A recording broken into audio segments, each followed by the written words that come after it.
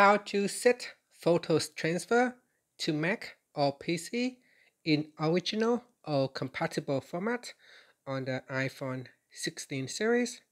First, let's return back to the home screen by swiping up at the bottom of the screen. Now from the home screen, tap on settings. Then in the settings page, we scroll down to the bottom and then tap on apps. Next, scroll down then tap on photos. Then in here we scroll down again.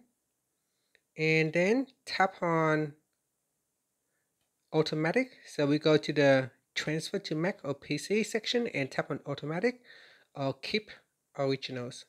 So here if you select automatic then it will automatically transfer photos and videos in a compatible format.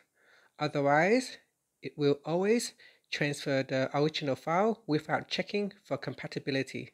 So if you can keep, uh, you can choose keep originals or you can choose automatic. And that's it. After that, you can tap on the back key or swipe up to return back to the home screen. Thank you for watching this video. Please like and, and subscribe to my channel for more videos.